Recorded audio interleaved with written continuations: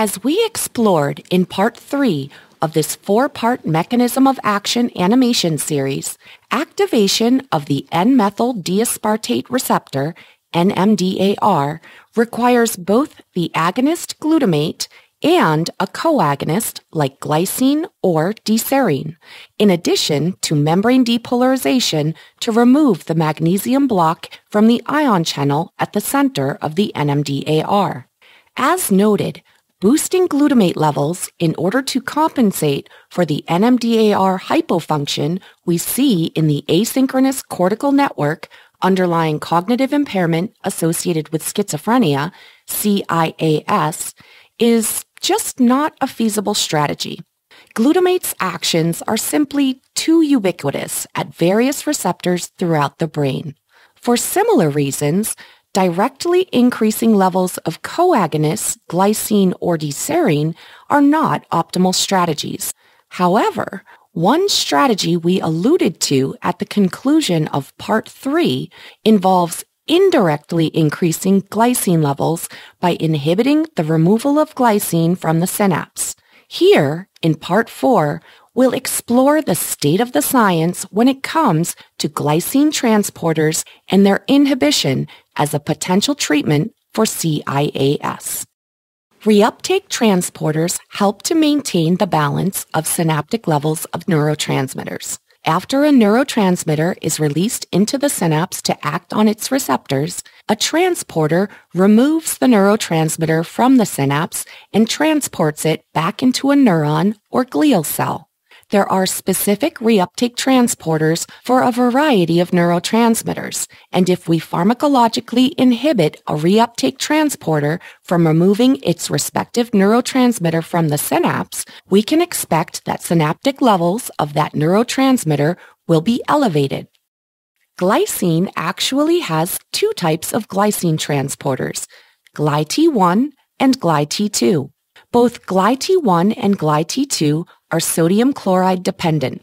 However, the similarities end there. GlyT1 is found abundantly in the prefrontal cortex and hippocampus and is associated with excitatory NMDAR at glutamatergic synapses. GlyT2 is found in areas of the brainstem, spinal cord, and cerebellum and is associated with inhibitory glycinergic synapses. With regards to this four-part mechanism of action animation series discussing NMDAR hypofunction in cortical networks underlying CIAS, we will be focusing on GlyT1. Within excitatory glutamatergic synapses, GlyT1 can be found on both presynaptic and postsynaptic neuron terminals, as well as on astrocytes. In its reuptake mode, GlyT1 serves to remove glycine from the synapse. As we noted in part 3 of this animation series, GlyT1 also has the ability, in just the right conditions, to function in reverse mode, whereby GlyT1 transports glycine from inside the astrocyte into the glutamatergic synapse, increasing glycine levels there. For the purpose of this animation, we'll concentrate on GlyT1's reuptake function, where it serves to remove glycine from the synapse. With its concentrated location in cortical areas where NMDAR hypofunction is thought to underlie excitatory, inhibitory, or EI imbalance, network asynchrony, and consequent CIAS, GlyT1 may provide an ideal therapeutic target for increasing glycine, specifically in areas where a boost of glycine may be beneficial the pharmacological inhibition of GlyT1, but not GlyT2, using a selective GlyT1 inhibitor has been shown to result in a rise in cortical glycine levels. With glycine levels at glutamatergic synapses within the cortical network elevated, there is more glycine available to bind in its coagonist capacity at the NR1 subunits in hypofunctional NMDAR located on PV plus GABAergic interneurons. This will hypothetically improve NMDAR functioning, resulting in activation of the inhibitory PV plus GABAergic interneurons.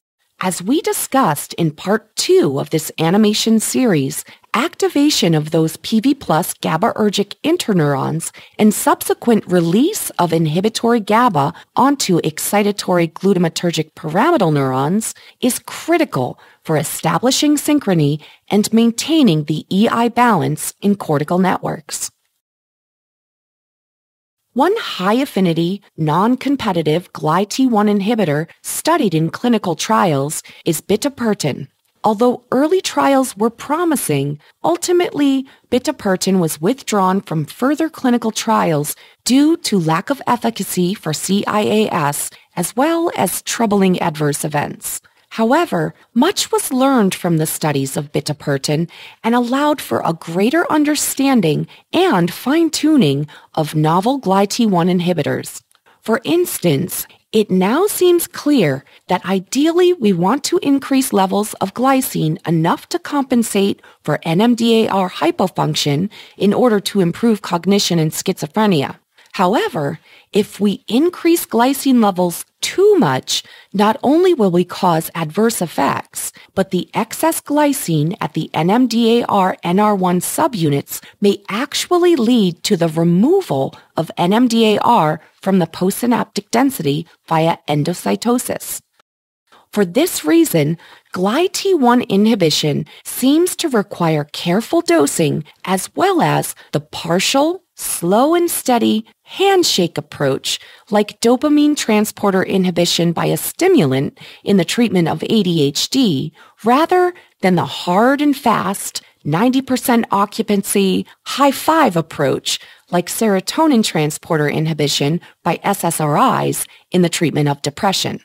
One such potent and selective GlyT1 inhibitor, iclepertin, has been shown to achieve and maintain 50% blockade of GlyT1 and has received FDA breakthrough therapy status due to its pro-cognitive benefits in patients with schizophrenia.